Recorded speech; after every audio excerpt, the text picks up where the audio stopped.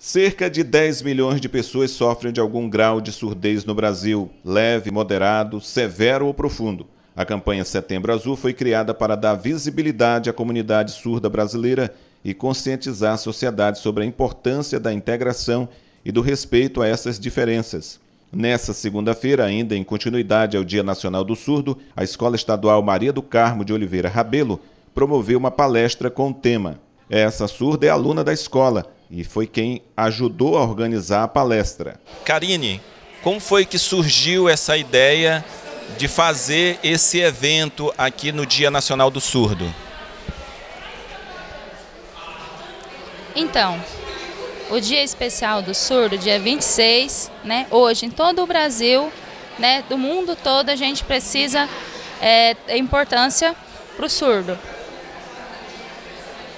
E como foi é, trabalhar com os alunos na organização para você? É a primeira vez que você trabalha com essa organização?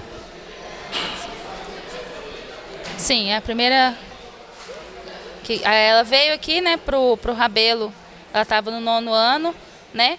Aí, mas é a primeira vez depois da pandemia que a escola Rabelo está fazendo fazendo a palestra, né, do Dia Surdo.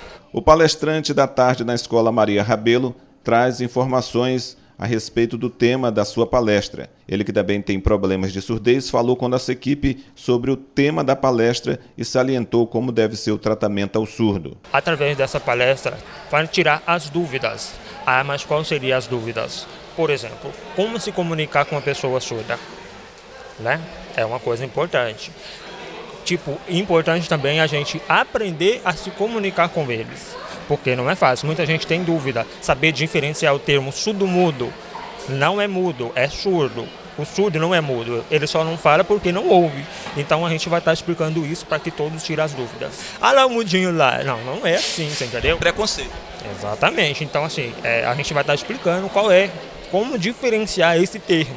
É surdo. Ah, mas falar surdo é feio. Não, não é feio, é surdo, porque ele é surdo, você entendeu? Evandra é a diretora da escola e falou sobre como foi organizar a palestra e sobre a satisfação de ter uma de suas alunas como organizadora. Para nós é um motivo de muito orgulho é, ter esse evento na nossa escola, né, termos organizado ele para que a gente se lembrasse de que no país nós temos aí milhares de surdos e que eles conseguem hoje estar na sociedade e desenvolver qualquer papel e eles podem estar aonde eles quiserem.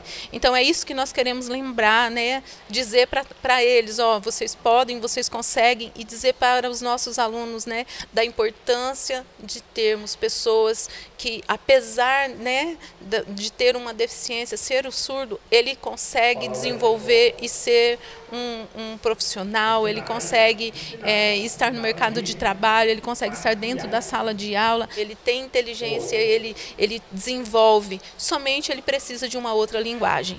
E para nós é de suma importância lembrar desse dia e, e fazer menção a ele, porque é, os nossos alunos são muito importantes para nós. Nós temos uma aluna, ela está finalizando o terceiro ano do ensino médio, ela está na sala né, do terceiro ano do ensino médio, juntamente com os demais alunos, é, e com ela tem a intérprete de Libras. Né? E essa intérprete, essa profissional, ela faz a tradução é, daquilo que o professor é, transmite para os alunos, ela traduz na linguagem de sinais.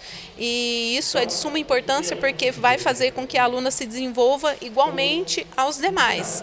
É, e para nós, assim, a escola é, é, é motivo né, de muita alegria poder ter esse profissional dentro da nossa rede de ensino.